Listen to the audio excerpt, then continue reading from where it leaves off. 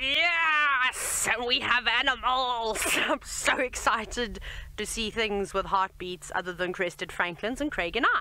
We've got many hippos, and it seems to be quite busy this afternoon at Chitwa. I don't know, there was some kind of dispute going on just a moment ago.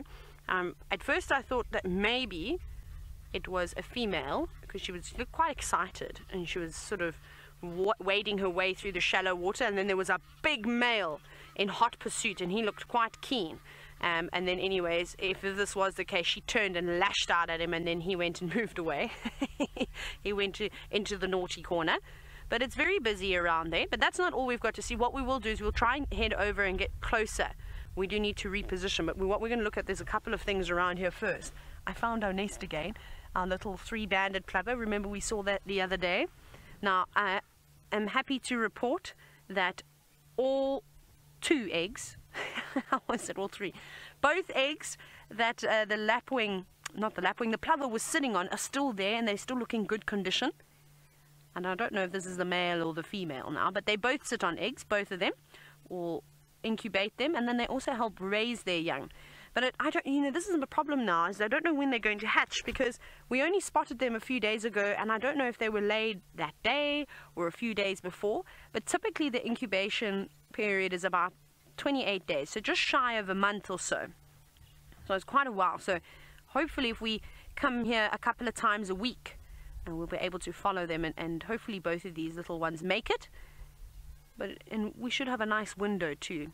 I think. Uh, the sort of fledging period is about what about four weeks, four and a half weeks, give or take. I think it's quite similar to that of the blacksmith lapwings. But how great is that? Now there is more more than just the bird action. Today we've even got Vladimir, the crocodile, laying on the island, just resting up. Not as big as the monster crocs you've been seeing with James that are taking on adult zebra. This one's just taking on the rays of the sun at the moment, basking about keeping nice and warm. That's quite funny. I love the way that the crocodiles lay with their legs sort of down next to their bodies. It always looks like they're so uncomfortable.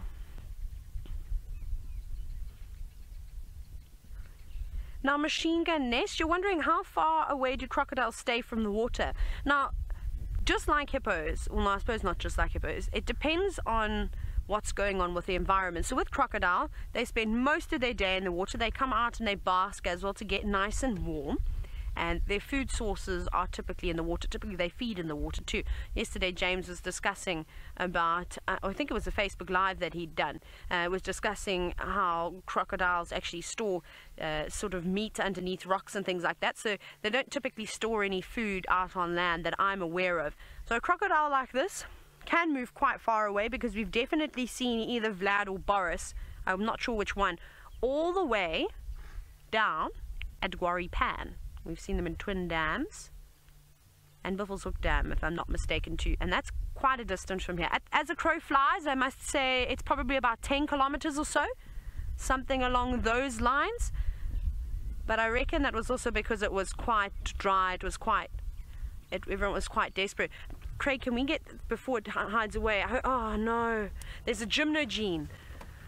Ah, and I know we've been dying over the last couple of days to try and find a gymnogene. Every I know a couple of you have said on, on Twitter, in fact, hope we get to see a gymnogene today. The guinea fowl have been going crazy sort of behind us. I think the gymnogene flew from one of the trees, obviously went around. They panicked and started alarming. The Egyptian geese now just gave off an alarm call. It's just set up in a, um, I think it's a sausage tree actually from here. It's difficult to tell, but we can't see it now. It's on the other side, but maybe we get a chance to see it. Who else have we, who else else have we got around here that we can do? Because before we have to move. Oh, we've got our friend the fish eagle. Our friend the fish eagle is up in the up in the tree, of course, where it normally sits. It's sort of quite easy to try and spot the fish eagles. They have their, their favourite perches, of course. And that's a good spot over there. You can still hear the guinea fowls shouting about. They're very distraught. They take a long time to calm down, those birds. But this fish eagle is just sitting up. It's actually not looking at the water at all. It's looking in a completely different direction. Oh, that's fantastic. Great close-up, Craig, of a fish eagle defecating. I wonder if it's going to fly. Yes, you are. Now, where are you going to go? We need to watch it carefully because we had that amazing sighting the other day Oh, that's going to be beautiful. Silhouetted against the sun. Wow, we. And that's it. that's as far as Craig's can turn the camera, unfortunately, but that was quite nice, flying off and into the sun. Maybe it's going to come back with perhaps a little present in the form of a bird or a fish. But it has flown away from the water. I can't actually see where it's gone now at all. Right, who else have we got? The lot, there's lots of hippo action this afternoon. There's two bulls down that way that were splashing about, but they've settled down now. But at this time of the day, it always, all the animals get quite rowdy.